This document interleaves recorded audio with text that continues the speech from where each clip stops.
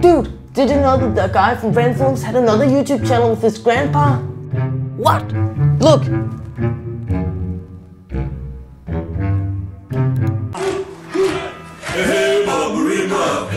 That guy. That's him.